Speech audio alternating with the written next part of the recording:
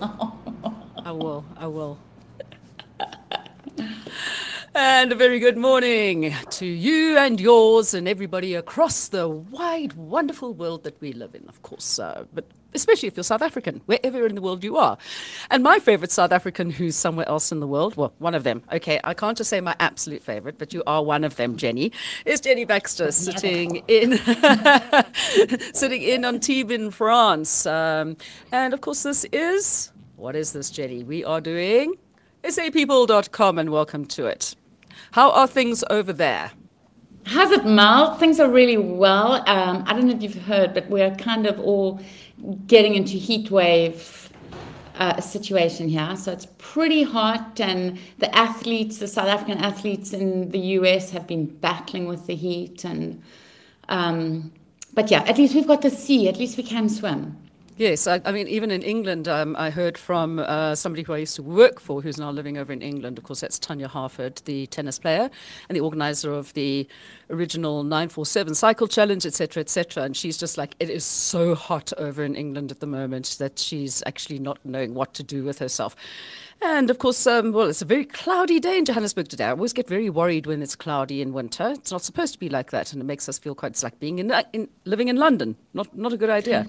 anyway, so enough about the weather because we like to talk about the weather because essentially we're British and that's what we do. Uh, not really, but anyway.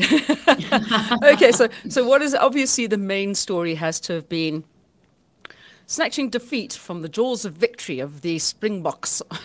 on Saturday, uh, which I found quite depressing. I didn't want to watch the last five minutes. I kept saying to my friends, I've, I have a bad feeling about this. I know that they're going to lose, and I do not want to watch the last five minutes, and I should actually have walked out because it was very depressing. But we're sitting there. But you know what's the good thing? What? Is that at least it makes this Saturday's match even more exciting because now you, you have to have the decider. Well, as long as they're playing the, e, uh, the A team not the E team, the A team. Because I mean, obviously, look, I mean, how many? There were like what, fifteen new new people coming in, fifteen changes or something, and I could have actually reached into my television and grabbed Eben Etzebeth's arm, ripped it off, and hit him with the wet end. Two penalties in the space of a couple of minutes. I mean, really, Brew, what are you doing? Okay, oh, do not. Don't just don't do that stuff. Anyway, but he got you his, his hundredth. He got his hundredth uh, test cap. Hey, yeah. Yeah, he's getting Saturday it this Saturday. Cape Town. Yeah. Yes, yes. So he, it's a pretty big thing. But yeah, hopefully he plays better. That's exactly what I was going to say. Exactly. if he doesn't play well on his hundredth, then there's going to be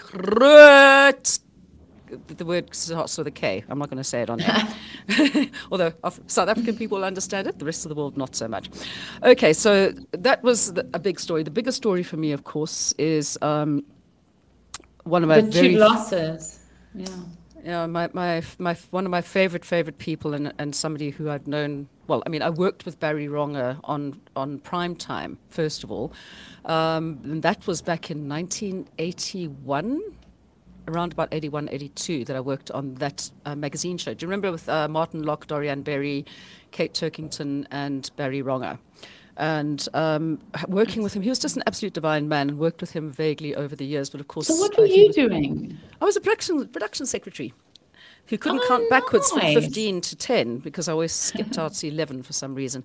But anyway, working with him, and then, of course, getting to know all the people at the SABC, and then meeting up with Kevin Savage, who um, did Late Night Live, and I met him on that. And of course, I was always hanging out at um, the 5FM studios when he actually joined 5FM after leaving um, Capital. And 604. Yeah, I'd known for at least four years now that um, he had cancer and that it had metastasized and, and it was stage four, etc., etc. But it doesn't matter how long you've known that somebody's oh, been ill for. It's still one of those things. And I mean, Kevin, okay, and I know that Rafe Lavine is probably sitting there and gnashing his teeth because I've always said he has the best voice in the world. Um, but Kevin's voice still it was one of oh, my favorite superb. favorite things. Absolutely the best yeah. voice. Yeah. yeah. Um, and you know what I loved? You know, because obviously it was just uh, you know, John Berks just a couple of weeks ago, and then yeah. to lose these two legends. But what I love is just the outpouring of stories and memories mm. and and just discovering, you know, we always knew these guys were great, but discovering some of the things they did that people never kind of advertised before because it was private. And, and they were phenomenal human beings, not yeah. just uh, brilliant broadcasters. Kevin everything. was naughty, very, very naughty.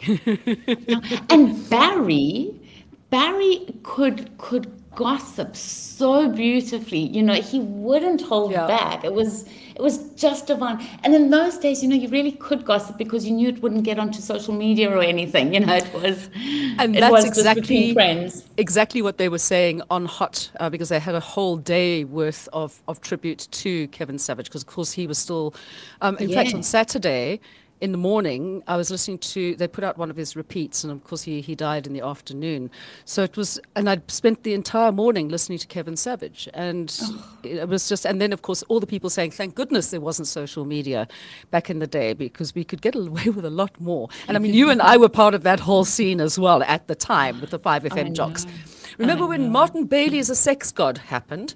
Uh, that was one of the. In fact, I think we should get hold of Martin from where he's living. Where is he in in um, he's which in county England. he's in? He's um, in. I think he's down south. Uh, starts with a C. Yes, I'm also thinking Cornwall. There we go. That's He's in with Radio Cornwall. I think we must just get hold of him and say, right, dude, I think it's time to chat, and then we'll get hold of Rafe Lavine and tell him that he must join us as well, so we can and have Jason. a chat. And Jason, of course, yes. Because I mean, Jason he, really was a sex god, Jason Roberts. He, you know, he was he was young and hot. Well, yeah, I worked with him, um, not just in radio, but also, of course, we did movie focus together. So we had a lot of fun doing that. And I mean, you know, that I, I know that, thank goodness there wasn't social media in those days. Those things that were happening at that time were quite interesting.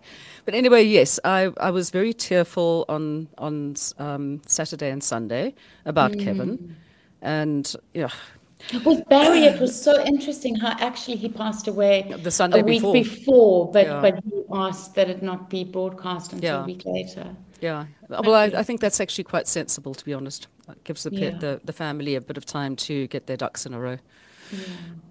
Because ducks are important, of course, except when it's in cricket. All right. Anyway, so there we go. With that, lots of fun and lots of happiness, and of course, condolences to the family.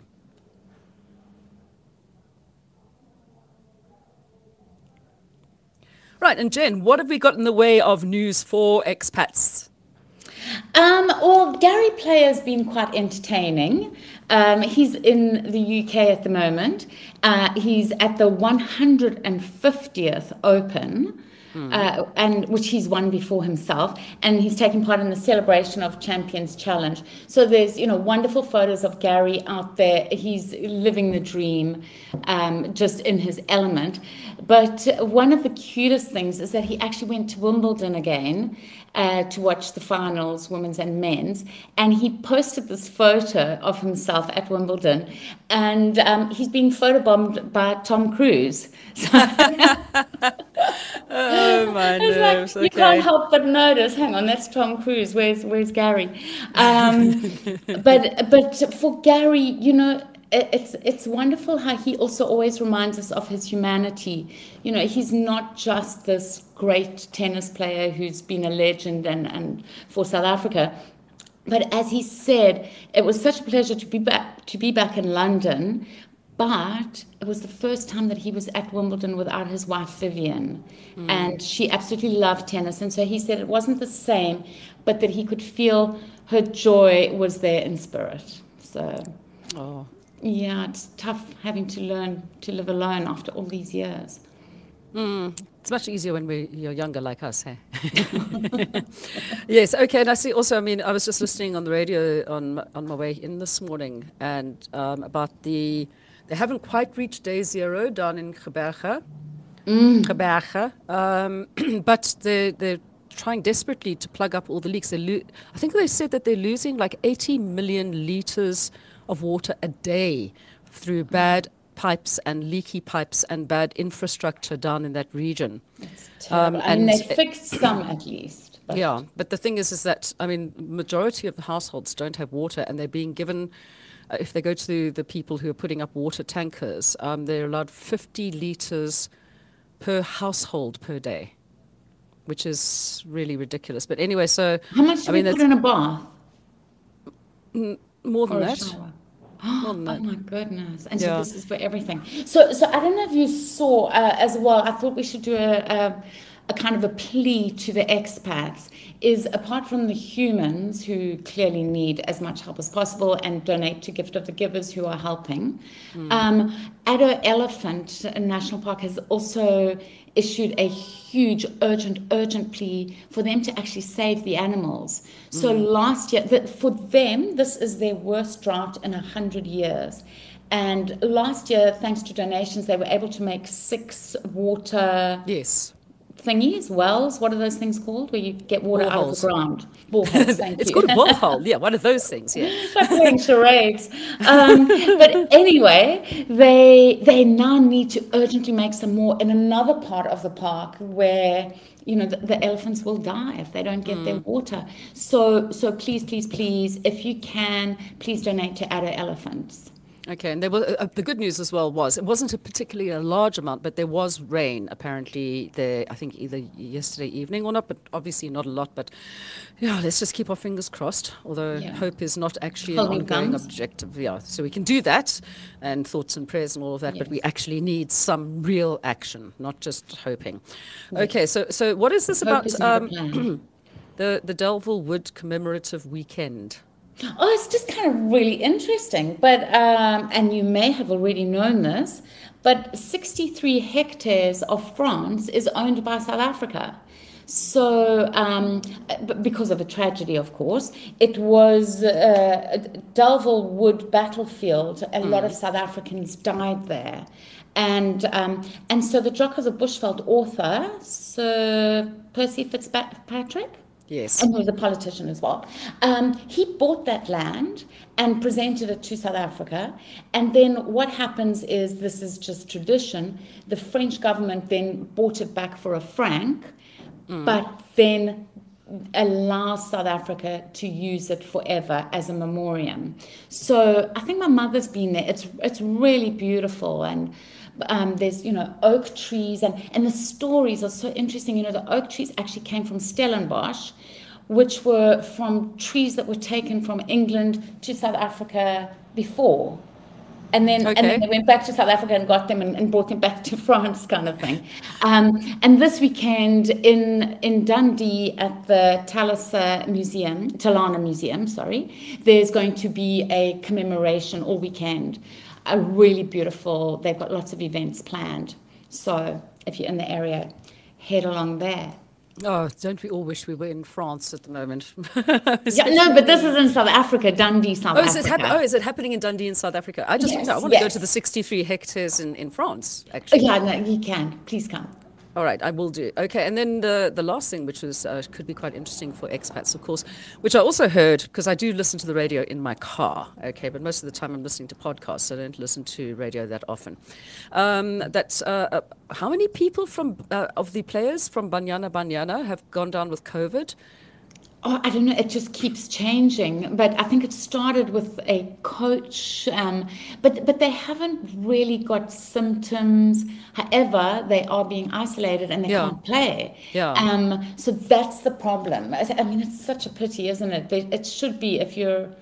But I suppose they are still contagious and they could give it to someone who's vulnerable. For those, of course, who don't know what Banyana Banyana is, it's the female South African soccer team. And, and it's really important that they get better because um, they're playing the quarterfinals again in Morocco. Hmm. And should they win, this will qualify them for the 2023 World Cup in Australia and, and New Zealand. So, so like, oh, you know, it would be awful if we don't have enough players on the field. No, absolutely. Well, I'm they sure they've got so um, well. subs in there.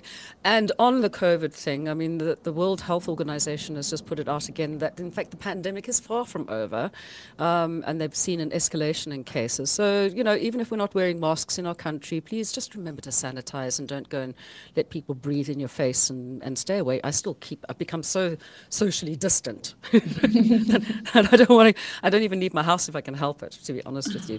I like it. I like, I'm, I've learned how to enjoy my own company. Uh, at least I know it won't be boring. Um, okay, so um, I'm joking. I do listen. I listen to podcasts. I find myself. I keep myself amused.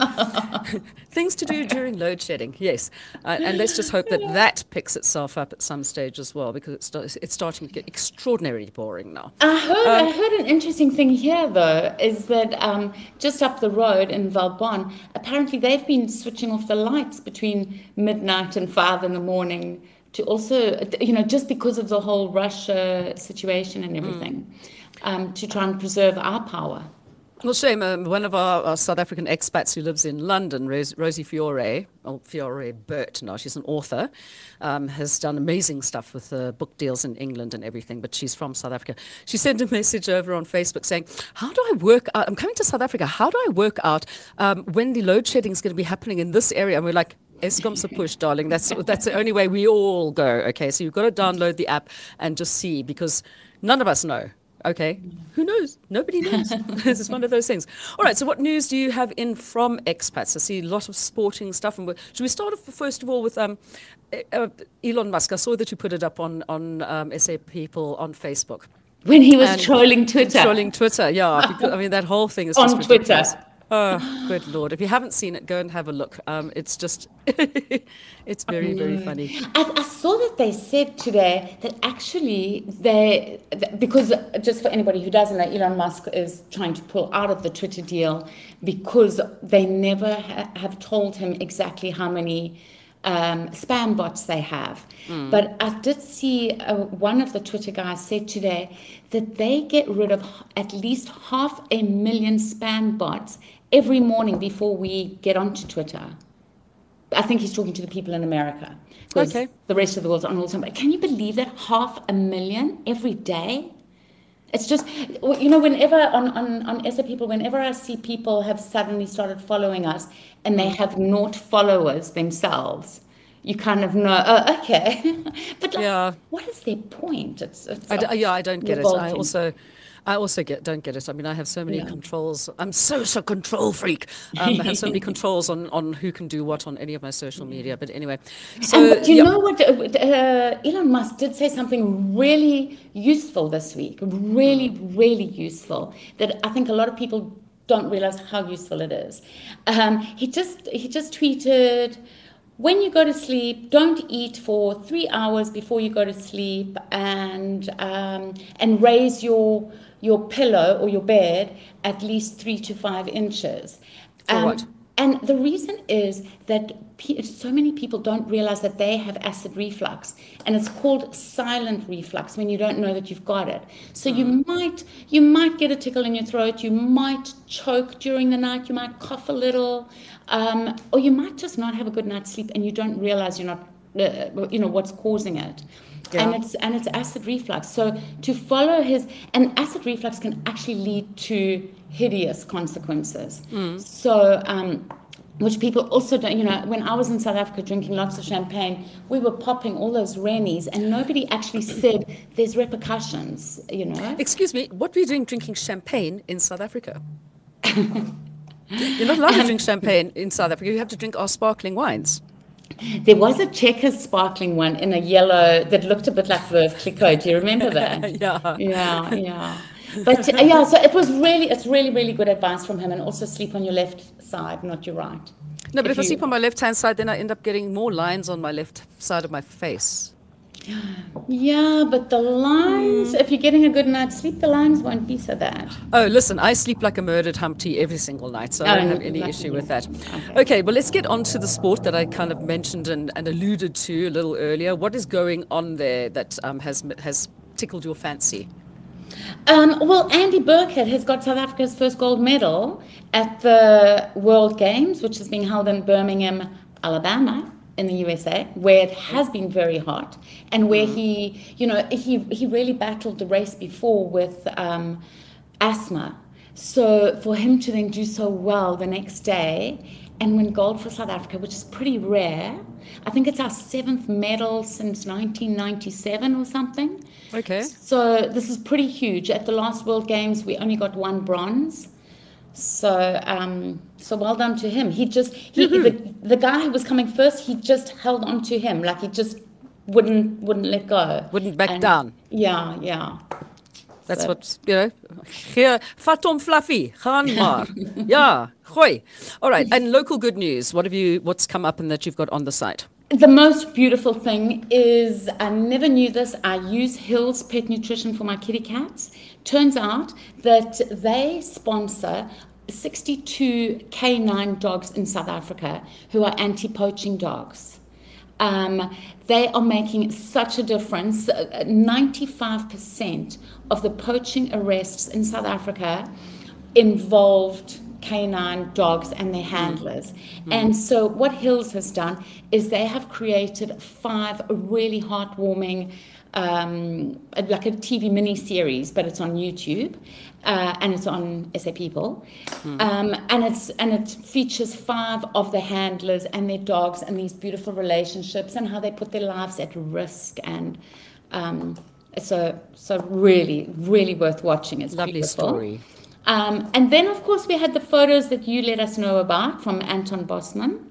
Yes, oh, well, don't they? Stunning. Stunning photos of Johannesburg. I Yeah. loved the comments. I mean, people just being so moved to see Johannesburg through the eyes of somebody who loves it and who sees the beauty in Johannesburg.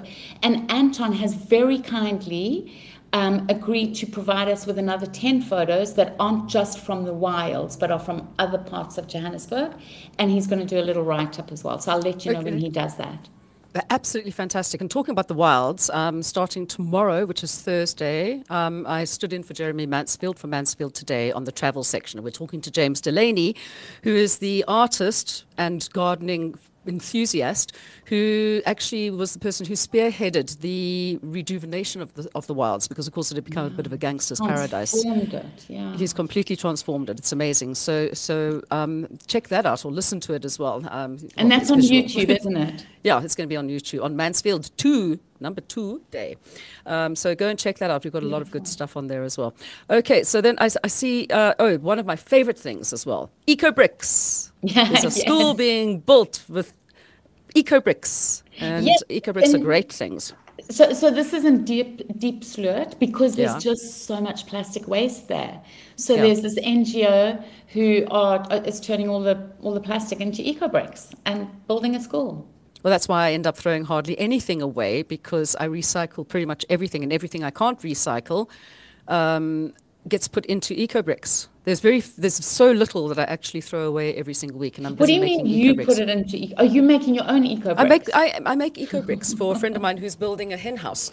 So I'm sitting and like I make eco bricks and I'm stand on them to make sure that they're kind of you know useful. And they and she's building a, an entire hen coop with it. So that's really great. So that's one way of, of making sure that your impact on the pro, the the whole world Yeah. is actually kind of mitigated somewhat. We had some South that. Africans staying here the other day, and we noticed that they don't have, um, they didn't know what to do with, with plastic bottles. They were putting them in the recycling as they are, whereas here in Europe, we take bottles and you crush them down to nothing before you put them in the recycling, which I'm surprised South Africa doesn't have. But maybe because you're building all those eco bricks. because we're building eco bricks and also well half of half of the bottles I keep for eco bricks and the rest get put into the recycling which goes outside for all the waste pickers Yeah, and they prefer to have the bottles like that but then people put their bottles in they don't take the labels off and they don't take the caps off and things like that so you need to do that before you actually take it out but you need to keep the cap for the eco brick anyway enough about it like if you want to know how to do it I'm sure I've got a podcast somewhere that tells you how to make Contact an eco brick Okay, so what entertainment have we got? Um, I've, s- I've, s- I've been actually sort of scrolling through what's available on places like Showmax and Netflix. But I'm still very, very hooked into BritBox, I have to be honest. Oh man! Well, there's there's on on Showmax. There's Meet Malusi, which is um, actually coming second to 007 No Time to Die. So that's really good. It's a South African story, heartwarming. A guy who suddenly has to look after his son, illegitimate son he never knew of until the guy was 16 years old. Uh, so I think it's a really nice way to hook into South Africa, and and the fact that it's the second most popular is Yeah. is, is pretty good. I did Um, see that when I went in, because I went online and watched the. I, I suddenly thought, hang on a second, I don't think I've watched this James Bond. How could that have happened? I like Jamesy Bondy. And, And did you watch it? Did you yes, I did. I it? watched it last night. Yeah, I'd managed to have just enough um, space and, and energy in my UPS during load shedding to actually finish watching it last night. Oh, Yes. Fantastic. Fantastic. Yeah, I think that you guys must have been in lockdown because many South Africans don't seem to have seen it. Yeah, uh, it was at that time. Yeah, and then what's Um, How to Ruin Christmas about? Oh, shame. That is on Netflix. And the reason why I mention it is that I'm watching it at the moment because this week, tragically, Busi Lurayi um, passed away, who's the main actress in it. It's a South African show, um, South African TV series, How to Ruin Christmas. It's funny, it's heartwarming, it's beautiful. And uh, she was only 35 and passed away suddenly. So they're waiting for the autopsy reports and everything. Um, and then something that I thought you and your daughters, except the one has now gone, might might enjoy. Uh, okay, we have to clarify that she hasn't. She's just gone to Hoedspruit. Yes. okay, to become Yeah. a game ranger. she's not she's not home watching telly with mum. Um, it's called Two Sides, and it's by the same people who made Chasing the Sun. And I remember you guys loved Chasing the Sun. Chasing the sun. Yeah, because our blood is green. Go Bokke! so this so this is also about the Springboks and the British Irish Lions, and it's got a lot of drama in. Uh, you know, it was during that that that series was during COVID times. It was during the time when Rassie Erasmus was a little bit contentious. So um, it's apparently really really worth watching. Only Okay, I'll- available. I'll have a look at South that. Africa. Cool. Cool. So, what have you got that's coming up that's interesting on the site on on SA People this coming week? What are you writing about? This coming week, there is an international survey that was done around the world with expats in every single country in the world. And we've got what the expats, so these are expats from other countries, from Sweden and America and Australia, who are living in South Africa. We've got the results of what they said about South Africa. And um, there's the unfortunate bit, which is, you know, they weren't that happy with safety, security, and public transport. But there are some fabulous things that they love that South Africa ranked higher than other countries, which is culinary, social life. It's easy to make friends. Um, the surroundings, the sport, environment are all fantastic. We are fantastic here in South Africa. They're quite right. Yeah. Now we, we Yeah. just have to get rid of some stuff, and then it would be a wonderful place to be. anyway, I'm not going to say what. All right, so if you are interested to find out more about the stories or um, want to add one of your stories to the entire mix, of course, you can go along to sapeople.com um, on the internet, the big thing that keeps us all connected these days. Thank goodness for that over the last couple of years. And of course on Facebook, where there's a very, very busy place. And you can post your views and your views, as in pictures, uh, with Jenny. And I'm sure that she would love to hear any good news that's coming out of South Africa that you have to share. Or if you're living overseas as well, share it right there too. Jenny, thank you very much. It's lovely to see your lovely face again, and we'll catch up with you again next week. Thanks, Mel. Bye. Ciao, ciao.